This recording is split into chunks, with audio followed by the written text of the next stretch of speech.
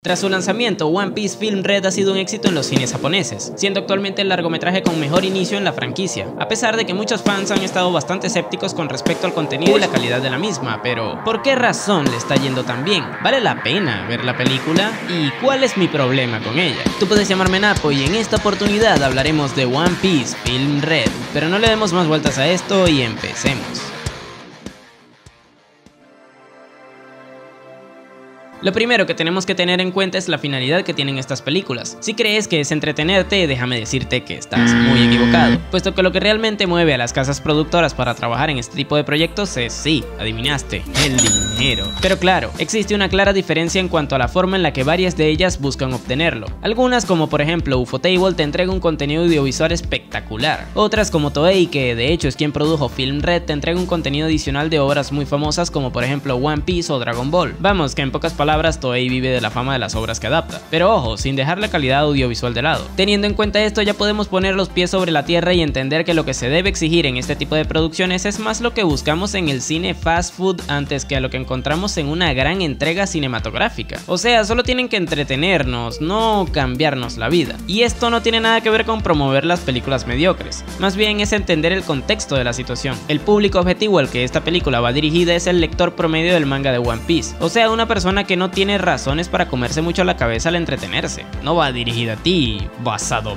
Smoke, que claramente eres un erudito intelectual. Pero en fin, teniendo en cuenta eso, ya podemos entender que toda la promoción que hemos visto en redes sociales durante varios meses tenía como objetivo no solo promover que la gente fuera al cine a ver Film Red, que es lo obvio, sino también tener el inicio más exitoso hasta ahora tomando en cuenta todas las entregas anteriores de la franquicia. Y, ¿por qué no? También posicionarse entre las grandes entregas de las películas de anime en general, cosa que logró, solo siendo superada al momento de escribir este guion por la entrega del tren infinito de Kimetsu no Yaiba. Todo esto, como bien dije antes, en parte gracias al trabajo de marketing que tuvo detrás la película, siendo los dos grandes focos de atención de la misma el intrigante pirata Shanks el pelirrojo y Yuta, su hija, que además es el personaje al que le da sentido a la trama principal. Mucha gente está disconforme con esta última, ya que el hecho de que sea la hija de un personaje tan importante para la trama de la obra principal es un poco choqueante. Si a eso le sumamos que es una especie de idol japonesa que canta, cosa que aprovecharon muy bien porque sacaron varias canciones de ella interpretadas por la cantante japonesa Ado, sencillos que de hecho son bastante pegadizos y que sería la gota que derramó el vaso para aquellos que no estaban tan de acuerdo con el personaje, viéndola así, solo como una mona china que canta y baila solo para generar los cochinos dineros. Como si eso fuera malo. Pero más allá de Uta también tendríamos que sumarle la incertidumbre que nos genera la mera presencia de Shanks, ya que como sabemos es un personaje que cada vez que aparece en el manga es para generar un cambio brusco en la trama, o como mínimo para sacarse el sable y hacer que todos sus fanboys, yo incluido, se derritan al ver semejante macho alfa lomo escarlata. Pero volviendo a una de las preguntas que te planteé al principio, ¿realmente vale la pena verla? En mi opinión sí, puesto que sin dar ningún spoiler del contenido de la misma, cosa que espero que ustedes tampoco hagan en los comentarios, el simple hecho de que el mismo Ichiro Oda se haya visto involucrado en la producción del film hace que como mínimo esta no contradiga a la obra principal. Además de que al introducir un personaje tan importante para la trama del manga, que de paso también es uno de los más misteriosos de la misma, te asegura que como mínimo será entretenida por la información que te den de Shanks, por muy escasa que pudiera llegar a ser. Es por ello que yo sí te recomendaría verla, aunque sea para pasar el rato y llegando a este punto entonces se preguntarán, ¿cuál es mi problema con Film Red? Como bien les acabo de comentar, la película en sí misma será entretenida por la información que nos den, pero a mi parecer es demasiada información.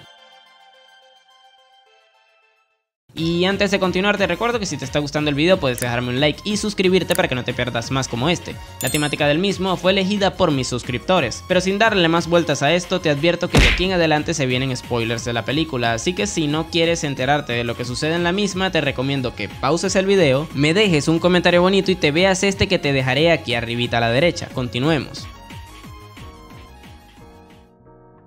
Resulta y pasa que mediante el largometraje nos enteramos de la forma en la que Roger encontró a Shanks, que fue dentro de un cofre, al igual que el pelirrojo posteriormente encontró a Uta. Mi problema con esto es que siento que no había necesidad de revelarnos ese dato en una película, ya que no sabíamos cómo el rey de los piratas encontró a su aprendiz hasta que eso se revelara en el cine. Me hubiera gustado haberme enterado de este tipo de cosas en el manga, ya que creo que es ahí donde corresponde que lo veamos, más aún si tomamos en cuenta la información adicional que entregaron a través de los panfletos que dieron en las salas de cine de Japón, donde entre otras cosas se aclaraba que Roger se robó el cofre que llevaba dentro a Shanks cuando ocurrieron los acontecimientos de God Valley. Esto es una gran revelación tomando en cuenta la información que manejamos actualmente de dicho altercado, y que se dé a través de una película de la que deberías poder prescindir, la verdad es que me causa un poco de malestar, ya que, aunque yo no tenga problemas con verla, no soy fan de los largometrajes, y si por algo me enganché de One Piece fue por su historia tan interesante contada en el formato del manga y anime. ¿Se acuerdan cuando decía lo de que Toei se lucraba principalmente de entregar contenido de obras con mucho renombre en lugar de buscar principalmente ofrecer contenido de muy buena calidad? Pues esto lo deja bastante claro. Estas revelaciones hacen que los fans, como yo, que no les interesan los largometrajes, sintamos la necesidad de ver esta entrega a pesar de que no nos interesan las películas de One Piece. Una táctica absolutamente legítima, pero un tanto desleal a mi parecer. Si a eso le sumamos que también vemos luchar brevemente a varios de los piratas de Shanks, tenemos como resultado un film entretenido, sí, pero que el condimento principal que tiene son las revelaciones que ni siquiera hemos visto en el manga. Y regresando brevemente al tema de las casas animadoras, me gustaría usar a Ufotable como ejemplo, más específicamente al trabajo que hizo en la película del tren infinito de Kimetsu no Yaiba, donde ciertamente nos entregaron contenido animado exclusivo, pero de un arco argumental que ya habíamos visto en el formato del blanco y negro. Sin embargo, el hecho de ser la primera vez que veríamos todo lo referente a ese arco animado terminó haciendo que la gente se volcara como loca a ver la película de una forma mucho menos sucia a mi parecer.